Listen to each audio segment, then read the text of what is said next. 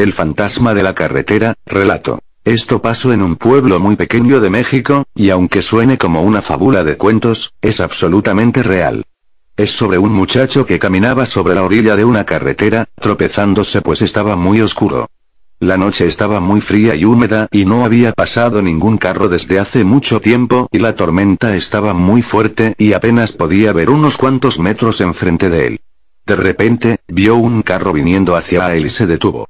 El muchacho sin pensarlo dos veces, se subió al carro y cerró la puerta. En ese entonces fue cuando se dio cuenta que no había nadie detrás del volante, el carro nadie lo iba manejando. El carro empezó a andar despacio.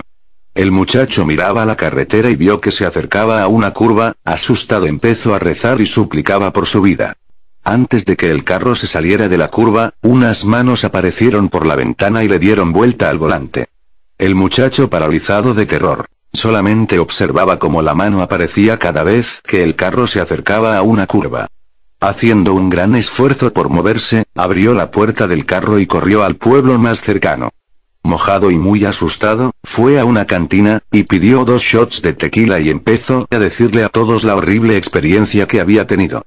Un silencio envolvió a todos en la cantina cuando se dieron cuenta de que él muchacho no estaba borracho y que lloraba muy histéricamente.